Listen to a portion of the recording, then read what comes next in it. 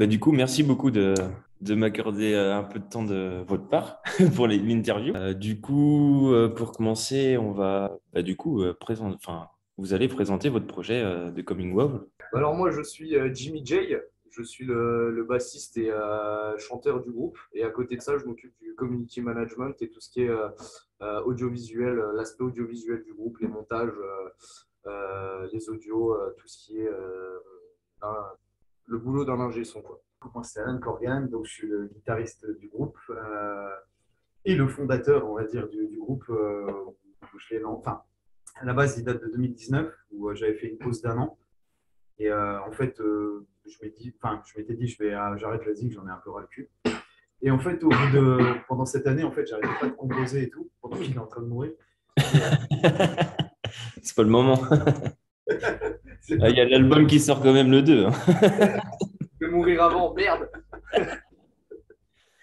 du coup, euh, euh, ouais, et du coup, pendant cette, euh, cette période, j'arrêtais pas de, de, de prendre la grave, de composer des morceaux, et je me suis dit, c'est vraiment con de les laisser de côté. Alors, je me suis dit, ah, vas-y, je, je lance une dernière fois le, le, le coup, et donc j'ai mis une annonce, et euh, donc euh, je suis tombé sur la sienne, je lui ai proposé, et euh, ben, l'histoire est partie comme ça, on est partis tous les deux. Euh, L'alchimie s'est faite direct, aussi bien humainement que musicalement. Ouais, d'accord. Et euh, à partir de là, ben, voilà, l'histoire est partie. Puis ben, après, on a recruté après les autres, les autres icônes. Ça a été un peu un chemin de croix, enfin un peu beaucoup un chemin de croix, jusqu'à ce qu'on tombe en fait sur euh, Robin. Bon, après pour raisons personnelles et surtout professionnelles, il a dû quitter le groupe. Et après, ben, on a trouvé euh, donc Valentino. Et là, le groupe en fait s'est solidifié, cimenté. Et là, ben, l'histoire est vraiment partie. Donc euh, jusqu'à ce jour où ben, maintenant, voilà, on a des dates de concert qu'on a effectuées le clip qui est sorti, le- donc l'album. Voilà. On avait un EP qui était sorti aussi, pardon, en Oui. 21, un EP six titres avec deux, deux- deux morceaux studio et quatre morceaux live pour arriver en, à cette finition donc, de l'album pour- qui va sortir le, le 2 décembre. Et voilà, et après, bah, après les projets, euh, il y en a beaucoup. Euh, on, essaye de bien gérer, comme il a dit. hein, lui, s'occupe- voilà, de- on, on s'est réparti les tâches. Moi, je m'occupe en fait du booking du groupe. D'accord. Et euh, donc voilà, comme ça, on repartit vraiment, vraiment, vraiment bien les tâches. Et euh, donc on va voir l'avenir, parce que là, on a déjà pas mal de dates sur 2023. Donc euh, voilà, on est là aujourd'hui. Un beau petit parcours du coup. Ouais, c'est ça. Plein d'embûches, mais voilà. Oui, voilà, c'est ça. Mais bon, au final, euh, un galéré. album qui sort euh, quand même euh, bientôt. Donc, euh, Ouais, voilà. Un très beau travail du coup. Pour savoir un petit peu plus, euh, du coup, euh, quand est-ce que vraiment a été créé le groupe, euh, la- l'année exacte, euh, la- 2019 du coup de la création. Ouais, euh, en fait, 2000 2019, je suis rentré dans le projet. Il, euh, il m'a il m'a recruté, euh, ouais, j'avais 15 ans. je suis rentré dans le projet, j'a- j'avais j'avais seulement 15 ans. Et euh, ensuite, on a eu, on a eu euh, comme, euh, comme il a si bien expliqué, on a eu pas mal d'embûches, pas mal de problèmes avec. parce qu'à la base, j'étais que bassiste. Et on a eu pas mal de problèmes à recruter des batteurs, mais aussi surtout des chanteurs. Parce que les mecs, une semaine après être arrivés dans le groupe, donc le cliché du chanteur, quoi. Donc on a eu beaucoup de mal. Et, et en fait, on était sous un ancien nom. Donc en fait, le projet date de 2019. Comme on dit, on a trouvé un, un terrain d'entente là-dessus. Le projet date de 2019, mais le, on a le Coming Wolves date de tout début du 14 janvier 2020. D'accord. Parce qu'en fait, on a préféré laisser tout ça euh, aux oubliettes. Et puis, euh, dès qu'on a eu le bon projet, Coming Wolves s'est lancé. Et, euh, et à partir de là, c'était euh, c'était tout droit. Quoi. Ok. Et du coup, qu'est-ce qui vous a amené à choisir ce nom de groupe justement? C'est une belle histoire aussi. Ouais, bah, Parce qu'à la base, le nom, c'était pas du tout ça. Ouais. C'était Rémission. rémission. Sauf que, ouais, on n'était pas convaincus. Enfin, surtout, lui, il était vraiment pas convaincu. Et puis, en fait, à force de discussion, il m'a vraiment convaincu que, ouais, pas, ouais, ça collait vraiment pas. C'était pas fait pour le projet. Non. Et en fait, un des batteurs, qui, un des premiers batteurs qu'on avait recruté, avait proposé, soumis l'idée de Incoming Wolves. Et euh, au final, ben, après, c'était, euh, enfin, il a trouvé que c'était mieux de- d'enlever le in. Oui. Pour, euh, Pour avoir euh, que trois syllabes, Wolves, Coming Voilà. Wolves. Il voulait vraiment le truc de simple, efficace, trois syllabes. Il a proposé Incoming Wolves. Et en plus, nous, bah, comme tu le vois là, nous, les loups, c'est un, peu, euh, c'est un peu notre dada. Donc, euh, c'était, en fait, c'était le nom parfait. Quoi. Le nom parfait pour le groupe, quoi. Euh, du coup, euh, l'ambiance que ou l'univers que vous voulez ressortir principalement dans vos musiques Ça s'oriente plutôt vers quoi? C'est en fait c'est assez simple. Euh, moi, pour, euh, pour l'écriture des paroles et pour euh, transporter ce que je ressens dans l'univers de Coming Wolves, en fait, on a, on a une mascotte qui est présente sur la pochette de notre EP et de notre, de notre album qui s'appelle Jack. Et qui, est en cache ouais, qui est en cache pour l'instant, Jack le loup. Et, et en fait, c'est la vision de, de, Jack qui est un peu neutre, qui arrive sur notre, sur, notre terre, voilà, dans notre société, en étant complètement neutre et c'est un peu la vision que pourrait avoir Jack de tout ce qui se passe euh, actuellement, avec euh, tout ce qui s'est passé avec le Covid. Maintenant, c'est 2-3 ans en arrière, mais j'étais en plein dans l'écriture des paroles à cette période-là. Donc, ce qui s'est passé avec le Covid. Maintenant, euh, c'est malheureux, mais tout ce qui se passe avec les guerres, etc., les inégalités, tout ça. Et en fait, je me suis vraiment inspiré de sa vision, avec aussi pas mal de, références de, littérature, parce qu'il est très littéraire et donc il met beaucoup sur cette partie-là pour l'écriture des paroles, mais aussi un peu cinématographique parce que j'aime bien regarder des films et surtout des, films d'horreur et de zombies. Ça, m'apporte beaucoup d'inspiration euh, quant à l'écriture. Et aussi euh, bah, beaucoup, euh, plus simplement, de, beaucoup de sentiments vécus, moi, à mon jeune âge, parce que quand j'ai écrit les paroles, j'avais 16-17 ans, donc j'étais en plein dans l'adolescence et vraiment quand les émotions sont décuplées par mille. Et je me suis servi de tout ça pour vraiment écrire des, des sujets qui me, qui me transcendaient à, à, ce moment-là. Et du coup, bah, c'est les, paroles qu'on peut retrouver sur, euh, sur notre album. C'est vraiment tout ce qui se passe avec la société actuelle. Euh, vraiment c'est vraiment lié sur tout ce qui est l'actualité. Hein, voilà. Bah, très bien. Euh, du coup, au niveau des questions, bah, est-ce que vous travaillez donc avec un label? Et du coup, si oui, pourquoi avoir choisi ce label et pas un autre, par exemple? En fait, ça, c'est. Euh, bah, là, donc, on a signé avec le label Music Record. Euh, en fait, à la base, euh, bah, quand j'ai commencé le booking, donc, on, avait, on avait l'EP. Donc, je me suis dit, je vais balancer un peu partout. Et on a eu des retours. on a étudié après les retours aussi, hein, les, comment dire, les propositions de contrat, tout ça. On a vraiment bien étudié. Et celui qui nous a davantage parlé, ben, c'était celui du label Music Record. D'accord. après, on a eu pas mal de visio avec eux pour euh, voilà, mettre les choses au clair. Si on avait quoi enfin, toutes les questions qu'on avait, ben, on leur a posé et on a vu que le feeling passait vraiment bien avec eux, contrairement aux autres qui nous avaient répondu. Donc euh, c'était vraiment clair. Euh, ben, après, on est parti, on s'est dit, ben, allez, on, lance la machine avec eux. Et donc là, ça va faire beaucoup de temps qu'on est avec eux. Là, ben, on a signé pour la, on a signé à partir de la sortie, donc c'était fin, ouais, fin 2021. Après, c'était pas sur la. au, moment où on a, au moment où on a enregistré l'album, parce qu'on n'avait pas signé à ce moment-là, la signature, elle s'est vraiment faite genre mai-juin, au moment où on sortait de studio. Peut-être un peu avant. Après, au niveau des timings, j'ai pas tout, ouais, on n'a pas, tout en tête. Mais euh, ouais, ça s'est fait, euh, on va dire, début 2022, pour être, pour être simple, euh, bah, au moment, un peu avant qu'on enregistre, euh, qu'on rentre en studio chez eux pour euh, enregistrer notre album, ça c'était en mai. Mm. Et du coup, c'est un contrat sur, sur deux ans. Ok, d'accord. Ça c'est vraiment joué aussi au feeling, quoi. L'aspect aussi confiance. Parce que, ouais, voilà, c'est ça. Vraiment réglo du début à la fin. Je ne citerai pas les noms. On va pas, oui. c'est bon. c'est vrai, que c'est bien de, déjà de commencer avec des bonnes bases et puis que ça soit carré pour, euh, pour un bon suivi. Quoi. Ah, c'est ça. Et puis, euh, on a eu l'occasion, du coup, vu qu'on a, on a passé plus de deux semaines à enregistrer euh, dans leur coin, dans le sud parisien. C'est vraiment des mecs super. Et puis, on a eu du coup l'occasion, on, on, bossait 8 heures par jour ensemble, de, créer des liens forts. Et puis aussi, à côté de ça, professionnellement, d'avoir beaucoup de conseils beaucoup de, beaucoup de discussions aussi pour savoir comment faire les choses un peu, vu nous, vu qu'on a un groupe, un tout petit groupe, euh, enfin un tout jeune groupe, un tout jeune groupe, euh, ben, il y a des choses qu'on ne sait pas forcément faire.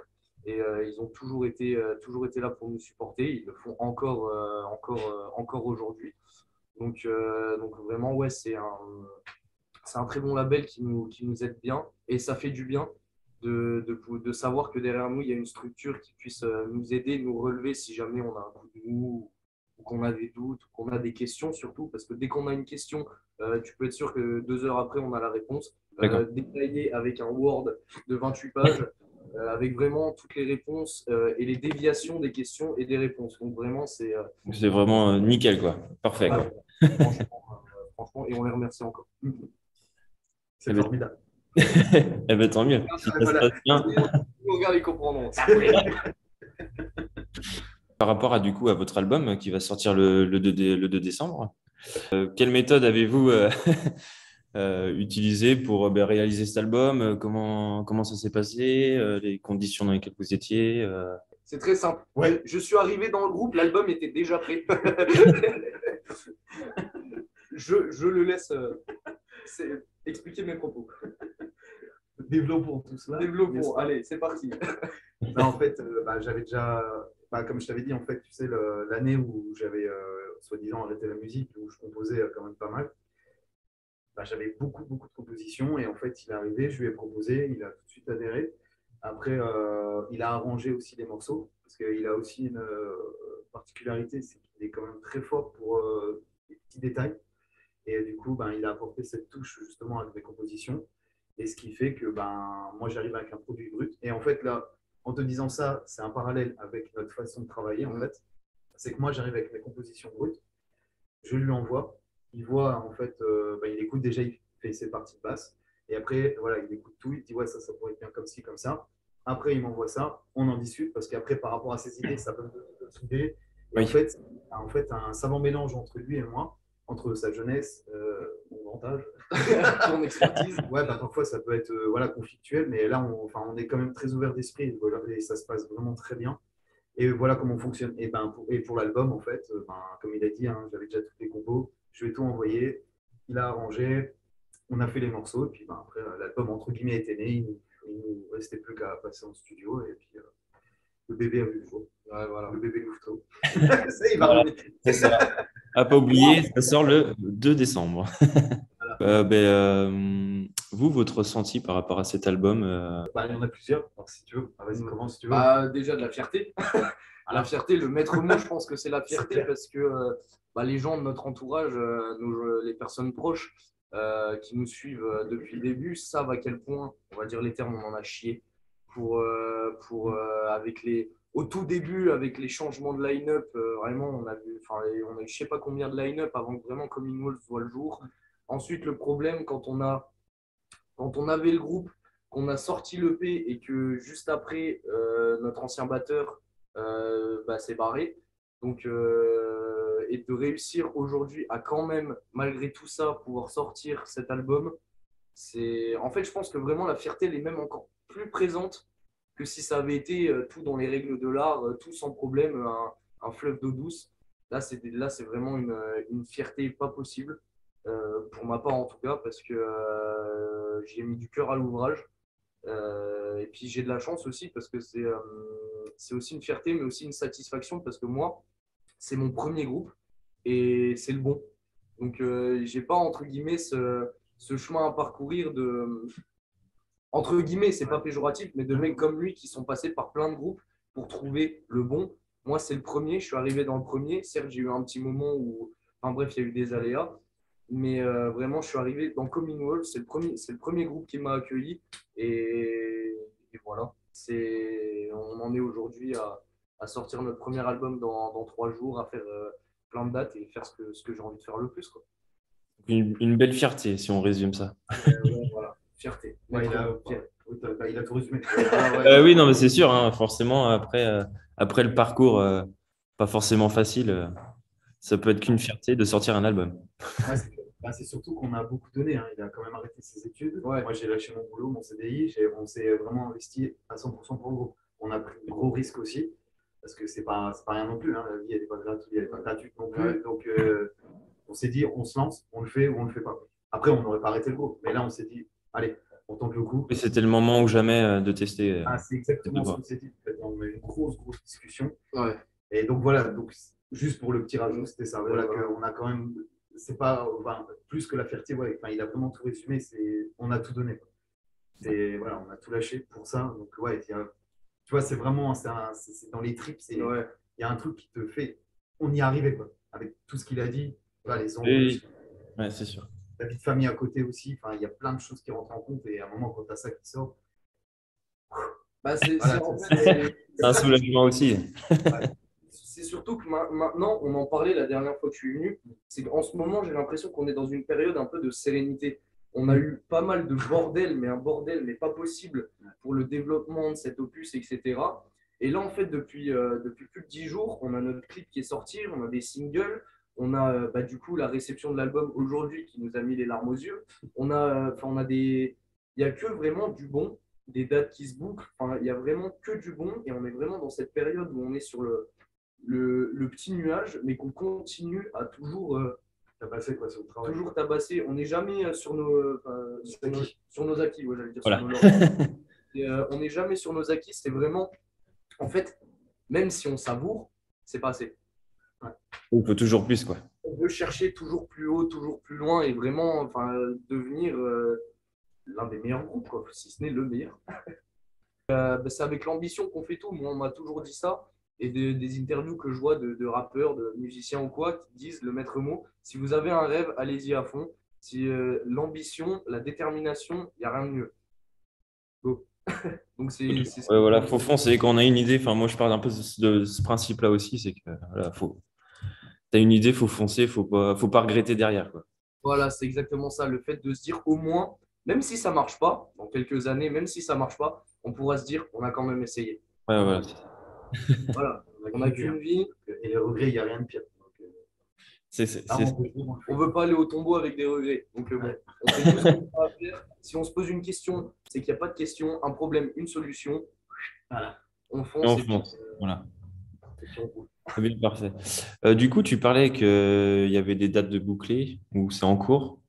Euh, du coup, est-ce qu'il y en a prochainement en France ou à l'étranger si, euh, Je sors mon anti-sèche. je sors mon anti-sèche, attends deux secondes. Ah, tu peux, je t'autorise. J'ai mon anti-sèche, toutes les dates sont là.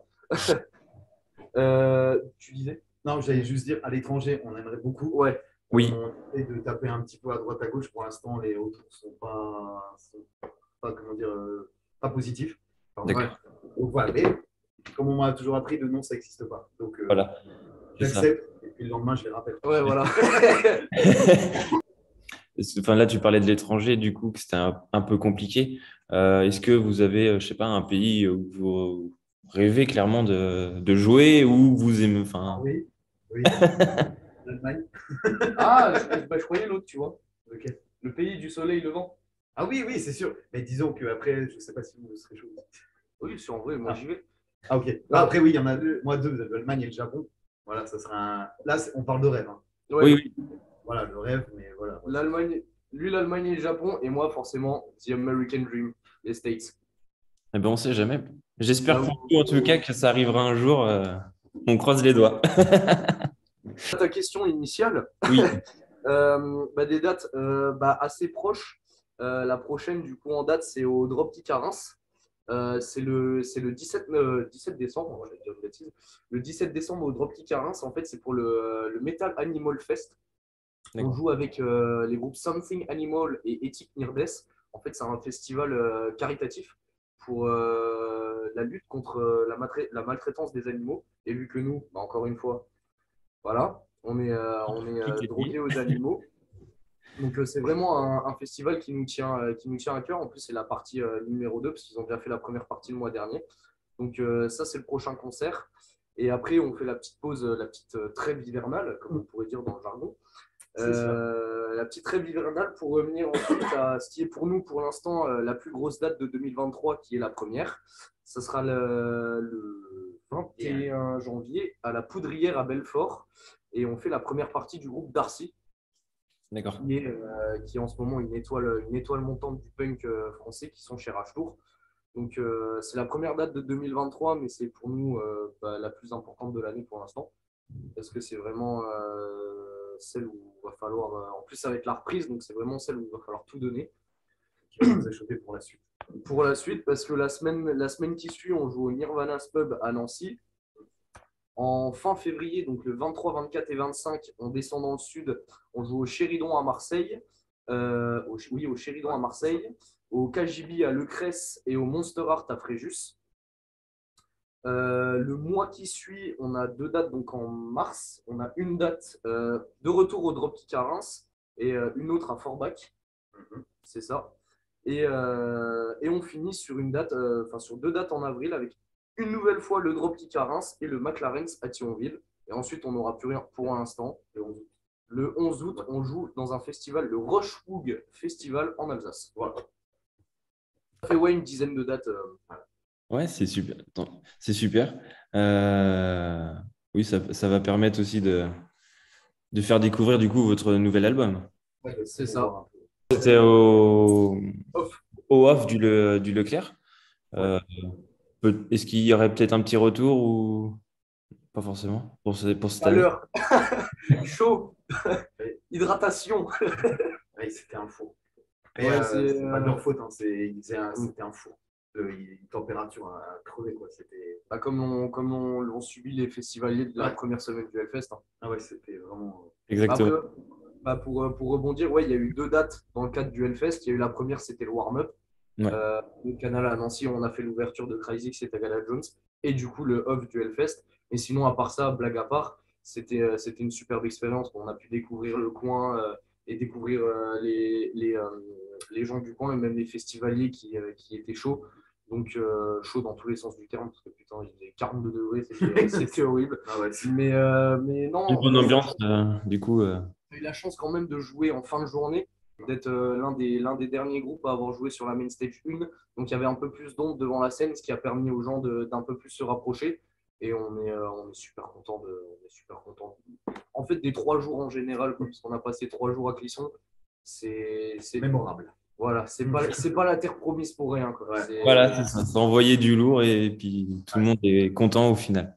Et pour la petite anecdote, on en a profité à notre Airbnb à Clisson pour faire la photo euh, qui se trouve dans le livret de notre album. Donc, euh, bah, allez, continuez à discuter, moi je vais le déballer. euh. Mais euh, non, c'était une très bonne expérience. euh, Oui, oui, c'était une très bonne expérience. euh, donc, voilà, pendant ce temps que monsieur. Voilà, mais la musique ascenseur. Donc en gros, cette photo-là, on va rien. Donc cette photo-là, Ok. nous l'avons faite, c'était la veille de notre passage au off. Il était euh, 4 heures du matin, je crois, un truc, un, un truc dans le genre. Ouais. Euh, oui, oui, je m'en souviens bien. oui. on, avait un peu, on avait un peu bu de Fanta et de Coca. Voilà. Voilà. Euh, et en fait, Ouais. euh, notre, notre côté artistique s'est réveillé. Et en fait, on a fait cette photo qui a permis de. euh, Donc, comme quoi, le Coca et le Fanta, ça fait euh, réaliser des belles choses. on mélange. C'est ça. Si l'agriculteur dans, le- enfin, l'agriculteur hein, ce- dans lequel on a fait cette photo euh, se rappelle de nous, on est vraiment désolé.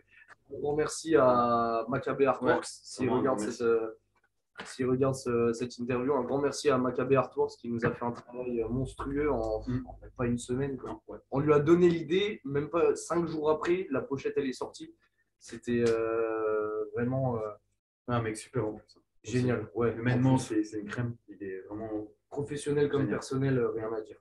Euh, bah, sur la pochette, euh, ouais. bon après, il n'y a, il y a que euh, nous qui le savons, mais entre guillemets, sur la pochette, en fait, tous les, quasiment tous les éléments qui sont sur la pochette sont, sont des, euh, des clins d'œil à chaque morceau, en fait. D'accord. Euh, Chaque objet qu'on peut retrouver sur la, sur la pochette, c'est un clin d'œil. La, la terre, ça va être Burn the World, la terre qui brûle, Burn the World forcément. Le loup, bah, ça va être Wolf, le morceau qui, euh, qui ouvre euh, l'album. La, hum, la toge, la mort dans la toge, c'est la Dead Machine. Euh, on va avoir le calice pour Drink My Dark Blood, le couteau pour. euh, c'était, euh, la femme, c'était pour Audrey, le couteau, c'était bah, aussi pour Drink, pour Drink My Dark Blood, et euh, le chemin qui sera pour euh, Requiem of the Beast. Donc, alors du coup, par rapport à si vous avez des petites anecdotes ou des petits moments inoubliables euh, vous avez vécu en festival ou en concert, euh, ce serait quoi? Bah, il y en a un qui vient tout de suite. Sans blague, Un tout de suite. Mais je pense que c'est le même. bah, sans blague, Voilà. ouais. le warm-up. le, le warm-up du Hellfest, surtout en fait dans le contexte, parce que Ouais. on va parler de l'anecdote et ensuite de la, de, enfin, de la soirée. L'anecdote, en fait, après, euh, après le départ de Robin, on a, euh, on a embauché un batteur euh, avec qui on a fait un concert et c'était pas encore, on n'était pas satisfait. Donc en fait, ce batteur-là, on l'a mis, entre guillemets mis un peu sur le côté, sur la touche, en lui disant boss. On voit que tu as, du, euh, du caractère et que tu as envie, donc bosse un peu ton niveau à la batterie et puis ensuite on, on refait appel à toi. En attendant, on a pris un batteur avec qui on a fait un concert qui était catastrophique. Mais vraiment, mais une catastrophe. Et donc, on a, on gentiment remercié ce batteur-là. Et le lendemain euh, du jour où on l'a remercié, je reçois un appel qui me dit Ouais, salut, euh, vous allez jouer, euh, vous allez jouer euh, pour le warm-up à l'autre canal à Nancy. Ouais, génial, tu me dis ça, on, a, on, vient de, on vient de virer notre batteur. Donc, panique à bord. Donc, on a rappelé bah, cette personne qu'on avait mis de, sur, le, sur la touche le temps qu'elle bosse. On l'a repris après avoir vu son évolution. Et du coup, pour l'anecdote, ce batteur-là, bah, c'est le batteur qu'on a maintenant. D'accord. Valentino Striker. C'est euh, c'est- donc ouais, c'est c'est lui qu'on a maintenant. Il est revenu. On lui a dit, écoute, euh, le dernier concert s'est un peu mal passé, mais bon, tu as, le moyen de te rattraper, mais bon, cette fois, ça sera pas devant 20 personnes, ça sera devant 600 personnes. Est-ce que tu es chaud? Il était chaud. On a fait le job. Et, euh, Et c'est là qu'arrive- et c'est là qu'arrive la suite de la réponse. L'after avec euh, Cryzix et Tagada Jones, Ouais. Dont on ne pouvait pas espérer mieux. Quoi. Ah oui, c'était euh, complètement fou. Enfin, Toi, tu t'arrives de Metz, tu as des gars comme Tagada Jones qui sont là depuis 20 ans, et euh, les mecs, ils te parlent comme s'ils te connaissaient depuis 10 ans. Euh, ouais, bien, hop, on fait la fête, on est resté jusqu'à 6 h du matin, on va faire la fête à l'autre canal dans une petite salle, je sais plus. Bah, le club, pour ceux qui Ouais. connaissent, le club de l'autre canal, c'est la, la petite discothèque, celle où ils font des, des plus petits concerts. à faire des pogos sur Limp Bizkit avec les mecs de Tagada Jones et Cryzix. Euh, C'était c'est improbable en fait. Quand tu, toi, tu arrives, tu te dis mais qu'est-ce qui se passe quoi? Donc, bah voilà, non, franchement, c'était euh, un, un rêve quoi. Et, Un euh, beau moment, du coup, euh, partagé euh, C'est ouais. avec Tagada et puis Krizek. Les mecs, tu les vois au plus haut niveau. Et puis Ouais. même quand tu sors de scène, le, moi, j'ai toujours cette image. Le, le batteur de Cryzix qui vient me voir quand je sors de scène et qui me dit Putain, les mecs, vous avez assuré. Putain, mais la, petite, la, la petite fille en moi pleure de toutes ses forces. Enfin, c'est vraiment, j'avais envie de me mettre en slip et de lui donner ma- mon t-shirt. euh, vraiment. j'étais- Bah, du coup, on, on en revient justement à ce qu'on disait tout à l'heure, à la fierté. Du coup, euh, en plus, du fait, du fait vraiment- que des, des groupes d'il y a, ben, maintenant que ça fait des années et des années qui, euh, qu'on les connaît, euh, qui vous disent ça, c'est vrai que c'est une fierté aussi.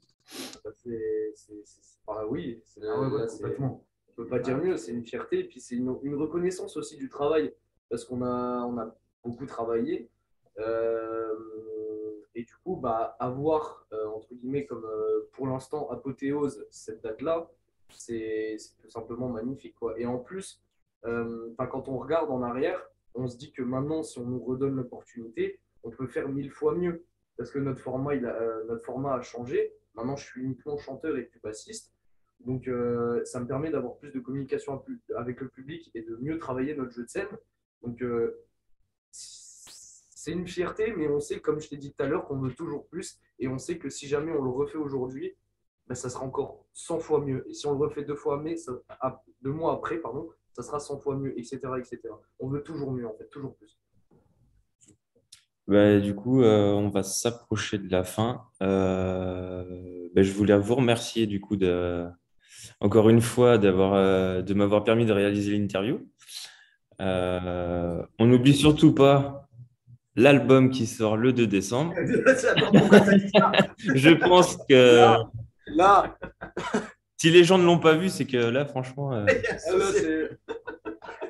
ils sont un peu de mauvaise foi du coup. En tout cas, moi, j'espère pour vous que ça va ben, super bien marcher comme vous le souhaitez. Euh, moi, je sais que pour ma part, euh, je kiffe vraiment ce que vous faites. Donc euh, voilà, merci beaucoup en tout cas. Et puis, euh, et puis je vous dis à bientôt. euh. Si je pouvais. Oui, passer vas-y. un petit big up à Arnaud de Metal Life pour la chronique. Ouais, on a exact. En, en vision comme ça. Donc, euh, un grand merci à Arnaud. Un gros big up aussi à Julien qu'on a croisé euh, Ouais. au off et qui était en feu avec son pote Kyle. Donc, Ouais. euh, un grand merci aussi à lui et à Kyle s'il nous regarde. Et, euh, et un grand merci à toi de nous avoir reçus. Merci. Eh ben, de rien, c'était avec plaisir. Et puis, euh, et puis j'espère euh, bientôt vous, vous revoir sur euh, Metal Live du coup. Avec grand plaisir.